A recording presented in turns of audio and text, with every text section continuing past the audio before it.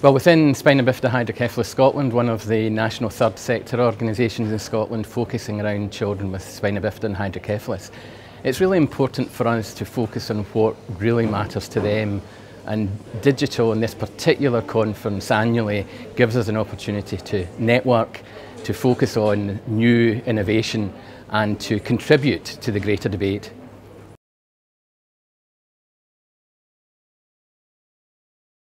Well, that's a good one to start off with this morning because we are presenting this morning on our new digital app, something that we've worked with our young people uh, over the past five years, and today we're launching our new MyCarePod app.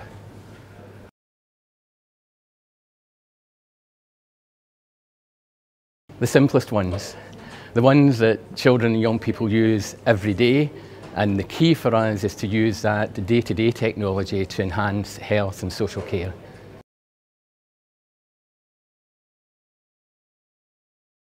I think the key message for me is come, enjoy, learn, and listen to the people that, that we are particularly keen to support and encourage them to come on this journey with us.